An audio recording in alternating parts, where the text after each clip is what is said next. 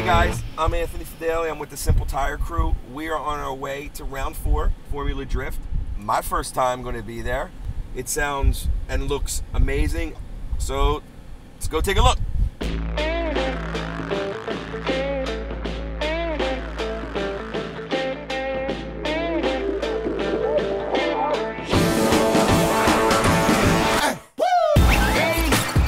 All right, so right now it's practice and qualifying, and it's kind of hard to decipher the clouds to the smoke. It's uh, it's pretty thick. It's pretty, it's pretty badass. I'm excited. Let's go. Let's go watch some cars spin.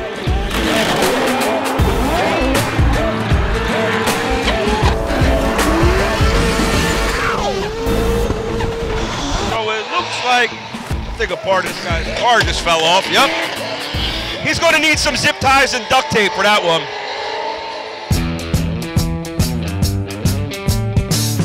I'm here with Paul Joe from Nexen Tires. He is decked out in his Nexen purple. Tell me, you know, in a couple sentences what goes on and what they do.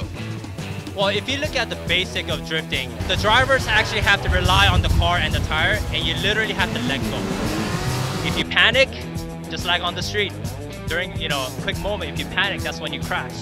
How many tires do you bring to an event? Oh gosh, um, events like this, we only have Pro 1 drivers. We bring about 350 tires. Now, when we sometimes have Pro 2 drivers, we might bring up to 500 tires, and we use them all. So here we are walking through the pits. Uh, Chris Fix, of course, my man. And of course, he's talking to pretty women. So tell me how you got started in drifting and where have you come from day one to today? I got started like any other regular person got started. I literally just wanted to learn the motorsport. So I went out there, I found an inexpensive car, I ended up getting a Mustang, and uh, just started from there. There's a lot of things that go on with your hands, your feet, you know, hitting the clutch, hitting the brake. Being in a certain gear, uh, letting the, the wheel slide through your hands, which is like a weird thing to do. So there's like a lot of dynamics going on in that sense, and tires are actually a huge part of it. I didn't think about it. I thought, okay, you want to get sideways, you want to, you want to slide, get the cheapest tires you could find, get burners, get things that just get out there. Tires, I learned, are very important. You want really nice, grippy tires in the rear, because again, you want that control on a slide. My man, thank you so much, man. I appreciate it, Chris Fix. Have a good one, buddy. Likewise. See ya. My man, Chris Fix. Check him out on YouTube. Drifting's just, it's, you're on the ragged edge and you have to hold it there on the ragged edge. What goes through your mind when you're coming into turn one? Only the turn one. I don't think anything else. What drives you in this sport? What do, what do you get out of it most? What do you like?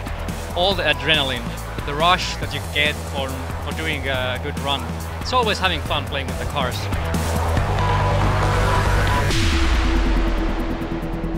The day's winding down, and it- the most interesting thing that I, that I found out is this sport started in like a parking lot, and it's grown to this, and it seems like it's only getting bigger. One of the most important things I've learned today throughout the day is everything eventually boils down to tires.